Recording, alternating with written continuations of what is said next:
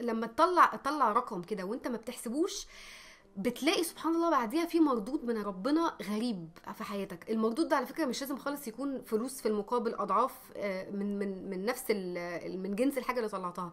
ممكن يبقى المردود ده سكينة ممكن يبقى طمأنينة ممكن يبقى راحة ممكن تبقى سعادة ممكن تبقى بركة ممكن تبقى الناس طيبة ممكن يبقى حد وحش بعيد عنك. بس دايما بيبقى فيه مردود. دايما بيبقى وبتحس في الآخر إن أنت عندك آه، سلام نفسي كده إن أنا علشان أنا عارف إن الأمان مش جاي من الحاجة دي فأنا عايز أنجح وعايزك تنجح وعايز الناس اللي في الدنيا دي كلها تنجح وعايز أبث المعلومة اللي عندي وعايز أبث ال- ال- الخير اللي عندي وأنا عارف إن ده مش هينقص مش هينقص اللي عندي بالعكس ده هيزوده. ما نقص مال عبد من صدقة. الصدقة دي والله مش لازم تكون فلوس الصدقة دي ممكن تبقى أي حاجة ممكن تبقى آه، خدمة هتخدمها لحد.